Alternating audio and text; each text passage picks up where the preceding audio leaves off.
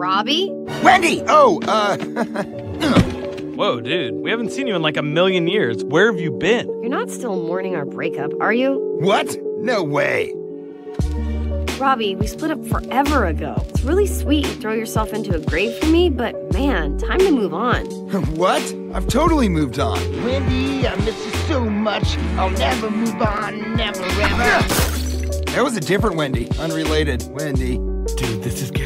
Awkward. Yeah, the cemetery used to be fun. Now it's just depressing.